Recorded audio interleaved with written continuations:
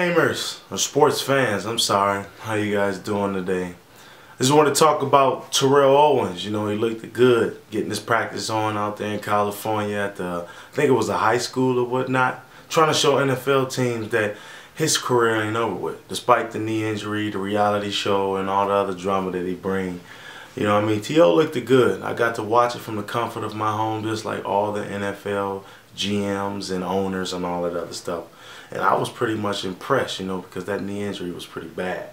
You know, so T.O., I guess he felt good about everything until he got that offer from that unexpected team. Yes, the Chicago Arena football team offered him a job. Now, as an NFL Hall of Famer, yes, he will be in the Hall of Famer, how do you think he feels? You know, how would you feel if you was um, the CEO of Sprint and all of a sudden, let's say Best Buy offered you a customer service job? That's pretty much how you can compare the two. You know, would you take the job just because you got laid off?